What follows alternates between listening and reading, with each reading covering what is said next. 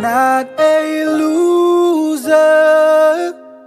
You're not a failure. You may be going through some challenges now. Don't you give up. Don't be discouraged. God has a purpose for your life. You're not an accident waiting to happen. You may be facing some difficulties now.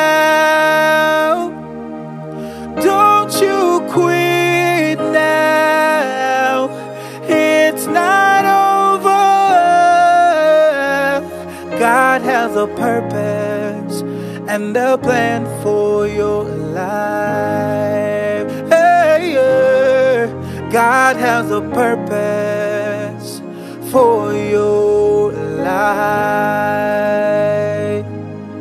Listen, Emmanuel means God is with us. So no matter your story, you're not a mistake.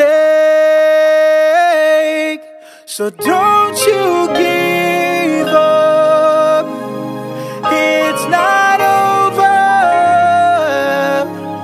God has a purpose for your life. Oh, God has a purpose for your life. I came to encourage you. God has a purpose for your life. No matter what you're going through, God has a purpose for your life. You are not a loser. God has a purpose.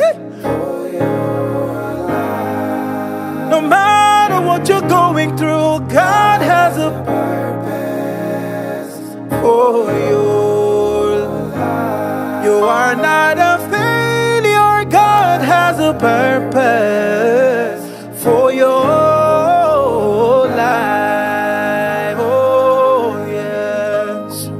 You better believe it. God has a purpose for your